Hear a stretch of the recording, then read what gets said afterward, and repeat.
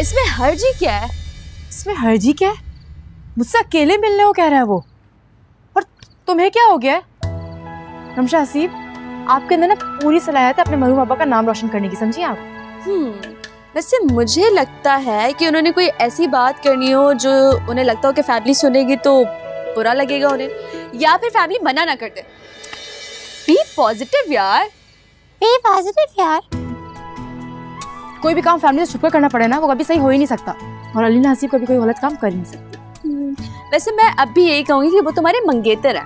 मिलने में कोई हर्ज छोड़ी है यार क्या हो गया? है मंगेतर है हस्बैंड नहीं। और मैं कोई ऐसी वैसी लड़की नहीं कहूँ मुझे बुलाओ मैं चल पड़ूँ। मुझे तो ये सोच सोच के हौला उसने ऐसी बात कर कैसे ली? अब तो कर ली अब क्या करोगी? पता नहीं। जब सब मंगनी वाला सब कुछ हो ना